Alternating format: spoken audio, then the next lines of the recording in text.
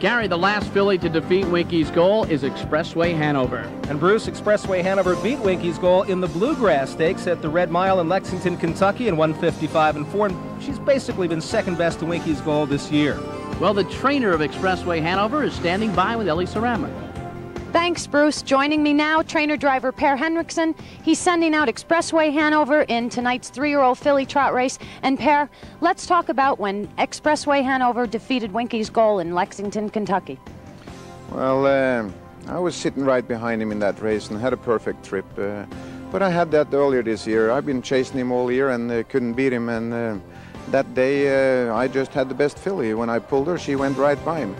I thought I had a real good shot to beat him in the filly division of Kentucky Futurity, and uh, we ended up in a race-off where uh, he had the rail and uh, I had the two. I ended up sitting behind him, and uh, we trotted the last quarter in 26 and 2, and it's tough to make up any ground. I believe that if I had the inside and he had to sit behind me, I might win it. But it's going to be interesting tonight. I got a post position inside him, and uh, we'll see who got the best one.